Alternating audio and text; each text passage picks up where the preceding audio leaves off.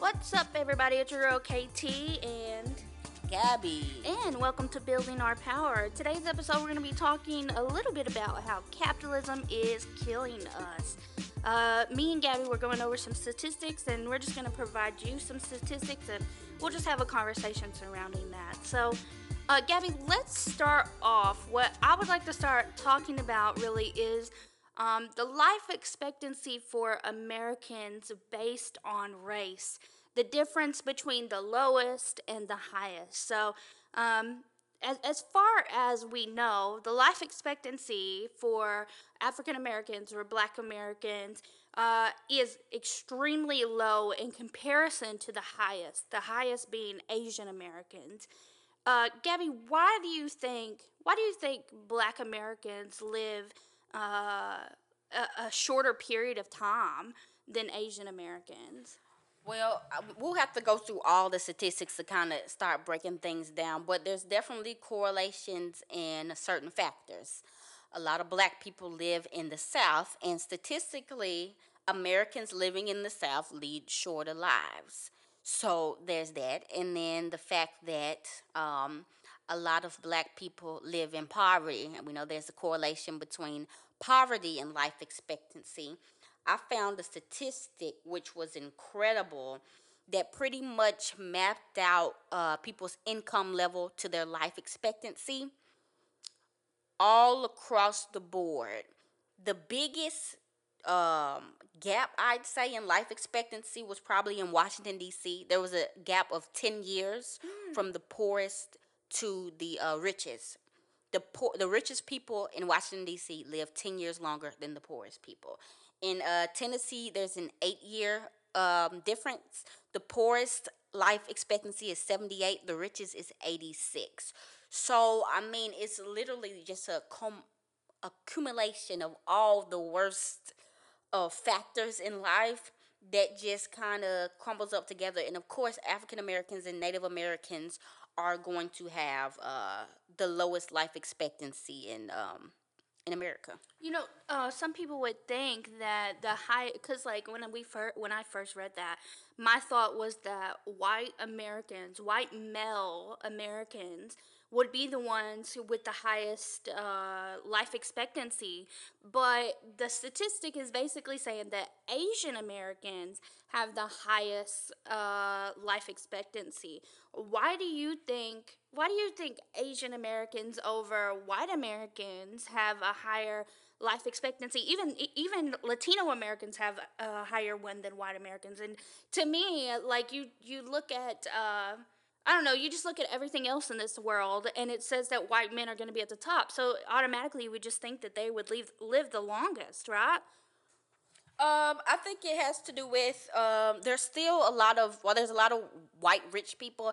There's a lot of white poor people, and you have to take that into account. And when we think about, you know, of course, the immigration process in America, America only lets like the wealthy people come in regardless. And so the Asian Americans and the people of other nationalities that are being able to come into America, they already have money, so they ca- they already have access to good health care. They're not having to work these backbreaking jobs in the coal mines and stuff like that. So they obviously are going to have a longer life expectancy, which is why I also think that the African American life expectancy has been inflated as well because it's it's counting everybody, Right. immigrant, uh, blacks, and everybody. And we know if we just count in the black folks that's been here forever, I assure you, it's probably way worse than what we think it is. So there was a another statistic that we looked at in regards to um, like who who really lives the longest. Who lives the longest, okay? And apparently in the entire United States, um, it's Hawaii. it's Hawaii. It's women in Hawaii. And what what did they say? I think it was like 80 something they lived to uh, like upper 80s where I- and I just think why like what's why why would uh, like why would women in Hawaii live the longest and then I have to think like obviously co- uh, colonization has happened there but they're kind of like disconnected from the US Yeah. in the sense that like I don't know. I just think like it's obvious colonization is there, but at the same time, it's like well, they're disconnected from the U.S., so they're obviously going to have uh, different things that are happening, just like every other state. You can tell the poorest states, the people with the majority black people, are the ones that are going to have like the lower expectancy of life. And Hawaii has the highest. I don't know. What do you think about I that? I think it's just not having to deal with as many uh, white people, to be honest, because we already know racism is a stressor as well. And, you know, even though there's plenty of white people there, you know, do tourism and stuff like that, I feel like they still kind of have uh, at least a little more autonomy than black folks in Mississippi. Yeah. Which, mm-hmm. even though more a lot majority of like the black folks is concentrated in like Mississippi, Georgia, Alabama, they still do not have very much um, political power and they're still having to deal with just overt racism. So that's my little uh, hypothesis. It's not uh, rooted in any science, but it's just what I think. I think white people uh, contribute to uh, lower um, life expectancy. I agree uh, to that. what about the? Uh, what about the? Because we did also read apparently that uh, heart disease is the highest killer in the U.S. And personally, I don't know about you, Gabby, but personally, I feel like that has a lot to do with stress. It has a lot to do with the fact that Americans live paycheck to paycheck, which is stressful. Americans don't have access to health care, which is stressful when you are in pain all the time. Uh, Americans don't have access to adequate food, Americans don't have access to a lot of things. Uh, I mean, majority of Americans are dying at early ages, right? So that's got to add even more stress to their lives. And it's just I mean, it totally makes sense why heart disease would be the number one killer because we we're so stressed out. We're literally so stressed out every moment of every life. So let's add on to because you're talking about like Americans in general. Right. So more than like just white people. Oh. But let's add let's add on another layer. Let's add on being black and being a woman right. and being in the South. Do we see now why the life expectancy is so low for African Americans there in the South? And even in Washington D.C., which is uh, it's in the north, but their wealth distribution and their life expectancy gap is just astronomical. But just think of the stresses of being poor, like you said, black, a woman having to deal with racism, sexism, uh, capitalism, other isms, fat phobia, whatever of course it's going to take a toll on your heart. And when you look at what they say contributes to heart disease, it's all the same things and it's all things that are directly directly connected to capitalism. So what are some things that uh, okay. causes heart disease? So according to this, okay, we know age, we know sex, you can't do anything about that, family history. Uh, smoking, we know um, for our generation, we're really not that big on smoking, but the younger generation is, and the generation before us, they literally were marketed cigarettes their whole lives mm-hmm. in TV. This is good. This is good. Doctors like it. So capitalism literally made our uh, grandmama and them nicotine addicted. Um, poor diet, a diet that's high in fat, salt, sugar. Okay, we talked about this. Processed foods, why are more Americans eating processed foods? Ooh, tell them, tell them, because this is important. Why are more Americans eating processed foods? Like even for myself, I'm a vegetarian, but I'm not eating uh, celery and making fresh salads every day. Why? I don't have the time, I don't have the energy, I don't have the money, and it's not gonna last me that long and keep me full all day. And and think about this: why do we? Why do you not have the time? Why do you not have the energy? It's because you're working. You're literally working. it's because society. I'm working like, and I have other things. Like I'm working, and then I want to also be able to work out, and I want to also be able to sit down on my butt for two two minutes before it's time to go to bed. Right. Like, so they're literally the way that the work day is set up.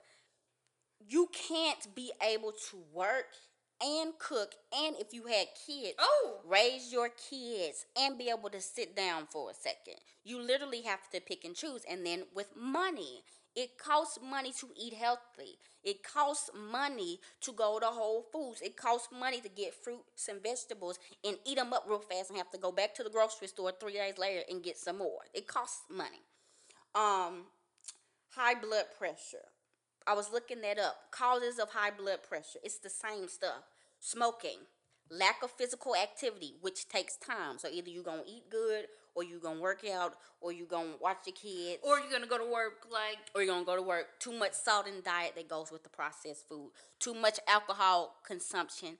Why are people drinking? So- why are our folks alcoholics? we, we Let's- know why. We know why. We don't have access to health care. So how else are we gonna cope? Weed and alcohol. The uh, weed, alcohol, pills, like that's what we know. That's what people know. They don't know uh they don't know healthy coping mechanisms because we don't have access to health care so that people can go to freaking therapists. Okay, anyway. And it's cheaper to get a bottle of cheaper. wine than go It's to a therapist. Um, stress. I went to a. I'm a teacher, and they're trying to. They're going to force us to go back to school this week. Uh, they made us take a two day little class on uh, coping with stress of being a teacher and the trauma of being a teacher. And all they pretty much told us was make sure you practice self care not we're going to give y'all mental health days we're going to give you more help we're going to be there to support you. We're going to set up rest areas. We're going to have massage therapists nothing. And that's for teachers. Imagine working in a warehouse. Imagine the people that work at amazon. Them folks really don't care. Them folks don't even don't even give you the semblance of caring. A rest a No, rest They didn't even give uh, people with Amazon. Remember, like Amazon people and uh, regular uh, quote unquote essential workers. Remember, they they wrote papers for us so that we could go back and forth to work. They um they literally just they made people go to work no matter what. Like it didn't care. They didn't care that there was a pandemic. They didn't care that people were tired and trying to figure out whether or not they were going to live through this pandemic. They didn't care. They did not care. Like at the end of the day. So why are more people dying? Stress. Just long story short, Stress. stress. So we get stress. So stress is caused by high blood pressure, which or stress causes high blood pressure, which then causes heart disease. How is somebody in poverty with kids trying to cook healthy meals, trying to exercise, trying to work, trying to get time to rest, going to cope with stress? What time do they have for that? And even if they did, guess what? They don't have access to health care, guys. Physical They don't ac- have access to and healthcare. and then they say poor dental health, which we know health care, regular health care does not co- uh, cover dental insurance. So literally, let's talk about this. Heart disease is a capitalist disease. It's it's a result, a direct result of capitalism. If you ask me, they need to change heart disease to to capitalism disease let's think about this. Let's let's do a little thought experiment. If we lived in a society where everybody was able to work and everybody was able to have three days of rest, full three days of rest. Everybody had food. Nobody had to worry about where their clothes was coming from. Nobody had to worry about where their bills was paid. They was able to go to the doctor when they needed to. They was able to get their teeth cleaned when they needed to. Do you think we'd have so many people dying of stress, of of uh lack of physical act- inactivity, of poor dental health, of high blood pressure? We would not. So I want to say, so we know like America obviously is garbage in these things, but there was another statistic that you had brought up, Gabby, and it was about who's like number one in the longest life expectancy in the world, and it's Monaco at eighty nine point four years. Second, Japan. What does Japan have? What does Monaco have outside of what the U.S. has? They have literally developed societies which provide them with socialist care. They have um, social socialist programs that are going to help them long term. They have health care. They have dental care. They have they have access to those things. When they throw people in jail, they have amazing jails, right? They have those type of things. It's developed. Whereas we we we just think about like just think about how wonderful it would be if we had a system in which we did not have to beg for uh, societal, really just norms, societal norm, things that should be normal. I can't. I can't imagine. And you know, people in the U.S. I've heard them be really, really racist um, and call like other countries, specifically black countries, uh, they call them third world countries. Racist. Terrible thing to say. But I want to say, I looked up the definition for that. I'm going to read it to you guys. So it basically says that as a society, the term third world country refer- refers to countries with high mortality rates, especially infant mortality rates. They also have an unstable and inconsistent economy. These are the countries which massive amounts of poverty and in some cases have fewer, fewer natural resources than other nations. These countries also uh, lack economic stability because the lack of the functioning class system. Usually, the country will have the upper class and a lower class. Without a middle class to fill the gap, there's almost no way for a person to escape poverty because there's no next step for them on the economic ladder. So, what does this tell us? The U.S. is a third world country. The U.S. is 43rd in life expectancy. And the U.S. wanna, is a third world And they want to tell you that this is the best. So, pretty much, we put all that de- de- uh, depressing facts in there because it's really to make a point. Because for myself personally, obviously, I'm a black person that lives in the South. And all of my family either lived in Tennessee or Mississippi. Mm-hmm. And all of my family on my mom's side is from Mississippi, which has some of the lowest – life expectancy rates. And I've seen that. My great aunt just passed, and she wasn't even 70 yet. She was in her early 60s. And so when I think about their lives and I think about everything they've had to go through when it comes to poverty, when it comes to uh, lack of mental health services, when it comes to lack of health care, period, or lack of adequate health care. I just think about how America really has failed black people. I mean, we already mm-hmm. know this, but just looking at those numbers, like you don't even realize that, yo, there's like this capitalism thing is killing us immediately when we talk about the police and stuff like that. We talk about how doctors don't want to listen to us, which I'm sure also contributes to our life expectancy yeah. rate. And then when we just think about just everything, environmental racism. Some people in Memphis over there living directly by pollution plants where everybody has asthma, everybody's getting cancer early and dying at young ages. The water is polluted.